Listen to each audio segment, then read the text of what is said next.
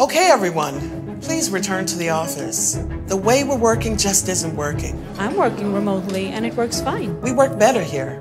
Whatever the policy is, these are noise canceling, so you can hear me. And me. And me. With all this going on.